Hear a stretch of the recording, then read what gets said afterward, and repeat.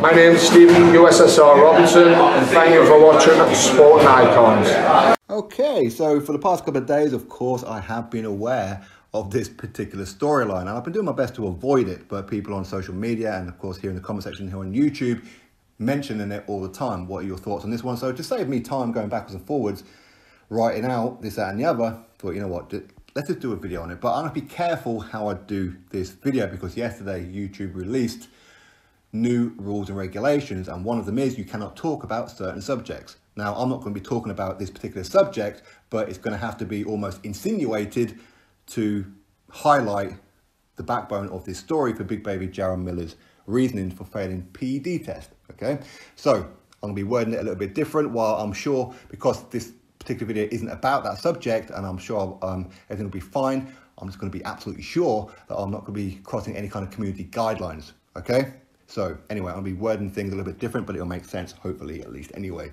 Even I was confused myself at this point. Anyway, Big Baby Jarrell Miller, a little while ago, is meant to take on Anthony Joshua for the unified world heavyweight titles to mark Anthony Joshua's US and his own debut. Six, seven weeks before the fight, he fails PED test. Not one, not two, but three.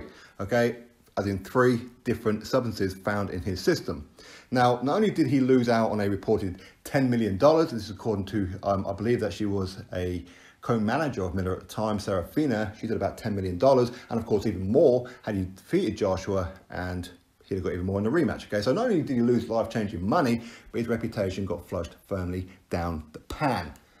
So he's been out in the wilderness. He's been coming up with all kinds of excuses as to why potentially that they were in his system. One of them, of course, was GW1516. Very, very important to remember that one as this video goes along.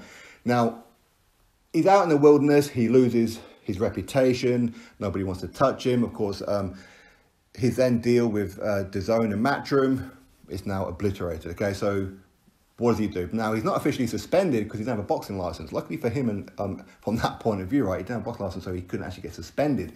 But Bob Arum of Top Rank and ESPN reached out an olive branch to him. He takes it, I'm a clean fighter, I'll be doing all the VADA testing and this, that, and the other. I'll prove to you all that I'm clean, I'll restore my reputation, blah, blah, blah. Okay, here's your chance. About a week or two before the fight, he fails a PED test. GW1516, according to some reports. Now, GW1516 is one of the multiple ones that was found when he was supposed to take on Anthony Joshua. So what is that people do? Automatic reaction is, well, quite clearly you're doing the same thing, you haven't learned, you're quite clearly a cheat, blah, blah, blah. He said after this latest one that him and his team will get to the bottom of it. They'll be acting for all intents and purposes like Sherlock Holmes, okay? They're going to get to the bottom of this one and pull out the information and provide it to everybody. His latest revelation is that he's been taking pills. Not pills for performance in the boxing ring, but performance in other areas of his personal life. Him and his partner like to move wooden furniture around the bedroom. We can put it that way. So, first of all, if it's not true, it's pretty inventive. So, so we do have to give him some credit for that one. Um, but if it is true, I mean, listen, everybody has their own ailments, but personally, me, I wouldn't have come out and said, yeah, this is why I failed this PED test is because I need these pills at my age, okay? But it is what it is. I said everybody has their own ailments one way or another. So no, if it was me, definitely not. I haven't been taking these pills. I've definitely been taking PEDs though. Um, I'm definitely a drug cheat. I wanted uh, performance and stamina and endurance, etc. in the boxing ring, not in my personal life for to help out my partner, to help keep her, okay?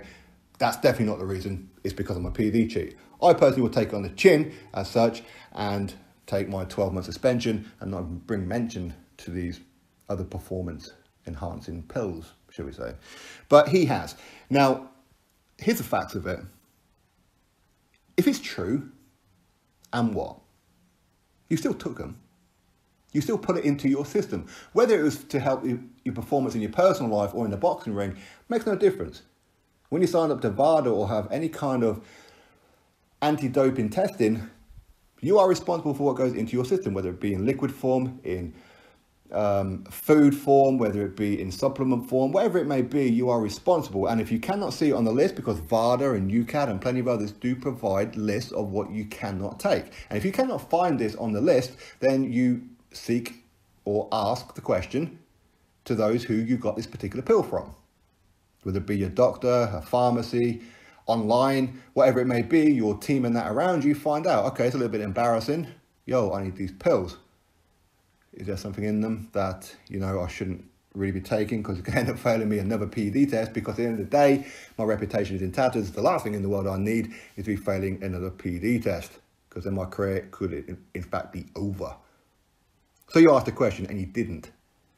So therefore, you are guilty by association one way or another, are you not? Now, currently he's got a 12 month ban.